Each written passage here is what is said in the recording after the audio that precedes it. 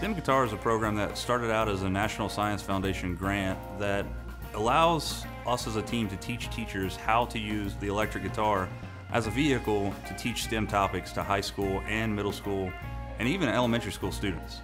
It allows us to take the knowledge that we teach the, teachers during the week of this training and they could take it back to their school and use the kits that are produced here at Sinclair that are really high quality kits. So there's science, technology, engineering, mathematics, there's physics, there's so much stuff that can be kind of derived from this program. We're not here to train luthiers. We're trying to get a sophomore in Bozeman, Montana to understand that Mrs. Johnson's fifth grade geometry class has merit. There's, there's two components to the program. There's an academic component that was funded under a National Science Foundation grant, and that was the development of the curriculum. And the curriculum can be scaled from middle school, high school, uh, community colleges, as well as up to universities, just depending on what it is that the students are studying. The STEM Guitar Lab was formulated in order to supply guitar kits to the classes that are running those. Sinclair has a unique place in the national STEM guitar field because we are the production center for those kits. We use the same curriculum to teach the class, but we have the additional responsibility of making the kits and shipping them out all across the country. STEM Guitar has shipped guitar kits to 48 states. I think the only two states that we haven't hit yet is North and South Dakota. They've even shipped some of the guitar kits overseas. We sell kits to schools all over the United States, including Pago Pago, American Samoa, Canada. Our kits have gone down to Medellin, Colombia for outreach programs. So without the Sinclair Guitar Lab, there would be no STEM guitar. Here at the wood shop part of our, of our facility, it's just old-fashioned woodworking, to be honest. We will get a truckload of raw lumber and we take those pieces and we'll cut them into what we call billets. And they're different lengths for different parts. So if I'm building bodies, I will cut that board down into 22 inch long pieces and we'll stack them on the rack. When that's complete, then we'll start to assemble a body and we'll pull pieces off of the rack and then we will plane them to thickness.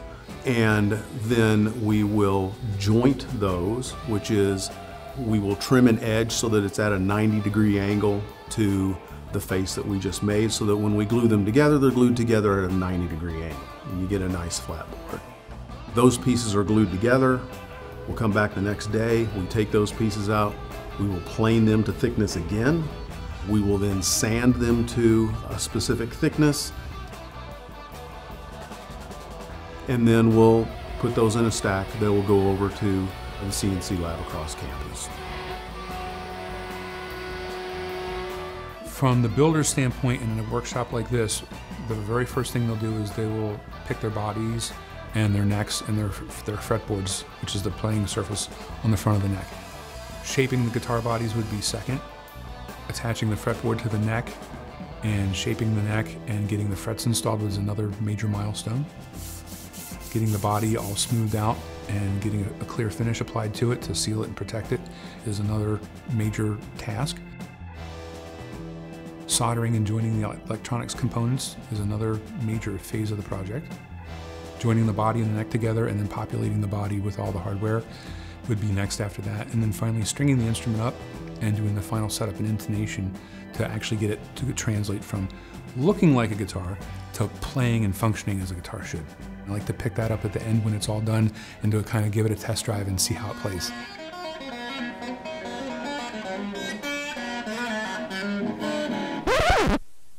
A lot of individuals think that, and that's a common misconception in the engineering field, in any field, that you must know how to use something or play something, in this case, playing guitar. A lot of individuals think that you must know how to do that in order to build it. A common uh, analogy that I like to use is The individuals that build the space shuttle, they don't know how to fly the space shuttle, but they can put the space shuttle together. The STEM Guitar project is highly accessible at all levels. And in terms of requisite academic knowledge, we'll take all comers. So wherever you are, there are ways to make connections. And so I wouldn't say you have to have had Physics 101 in order to be able to be successful with this course. And that's the great thing about STEM Guitars, it's scalable. So whatever your audience is, you can take the materials that we provide and the process that we're showing and then make connections that are relevant to the students by saying, here's an example in the guitar of XYZ topic that we need to cover in class this week.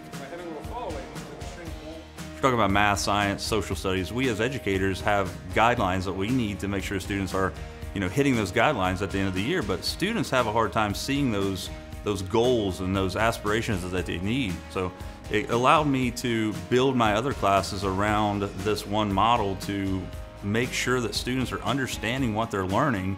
When you see a student strum a guitar for the very first time that they built, like you couldn't wipe the smile off their face with a, you know, with a fire hydrant. It's just so amazing.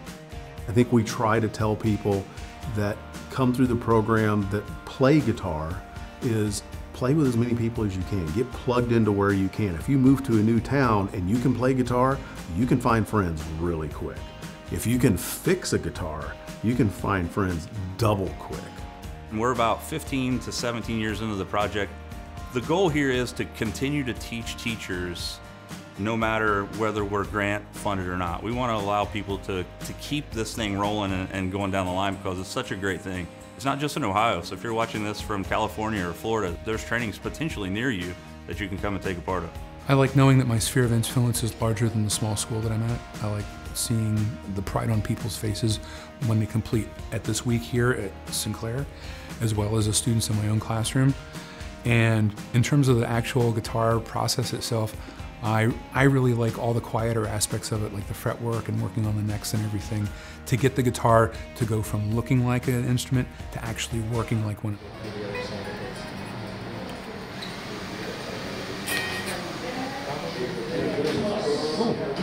Building a guitar is not it's not an everyday thing. It's it's not i don't want to say it's not simple but if you pay attention if you ask questions then you'll be okay. Every class at the end of the day if you walk in with 10 fingers you walk out with 10 fingers it's a good day